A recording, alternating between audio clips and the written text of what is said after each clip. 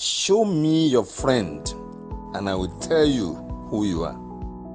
The company you keep determines what accompanies you in life. If nine of your friends are broke, you are likely going to be the tenth one. If six of your friends smoke, you are going to be the seventh.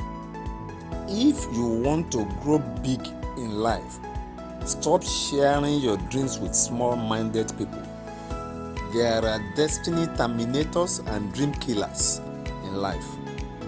Genesis 37 18 to 20.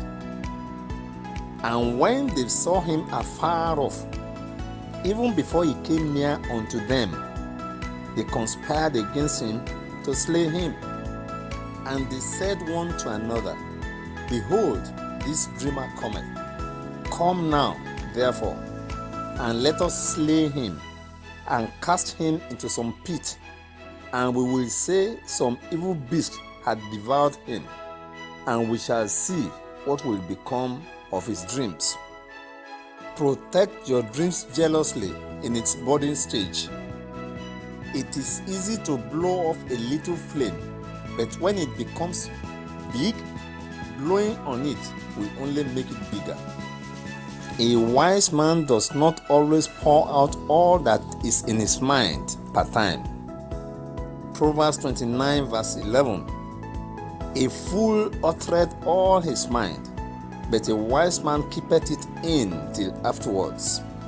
The people in our lives will either exalt or exhaust us, be a help or a hindrance, be a blessing or a burden. They can increase, decrease, or neutralize us. When God wants to bless you, He sends a person into your life. And when Satan wants to destroy you, he also sends a person into your life. Love is a must, but relationship is a choice. Toxic relationships cannot but kill your joy, aspirations, and visions. Many people are in different prisons all over the world today because of the people they associated with. There are many types of water. If labeled and asked to choose the one you want to drink out of river water, well water, lake water, tap water, flood water, or rainwater, most people will carefully look at the labels and pick tap water. It is advisable to carefully look at the labels on different people before choosing friends.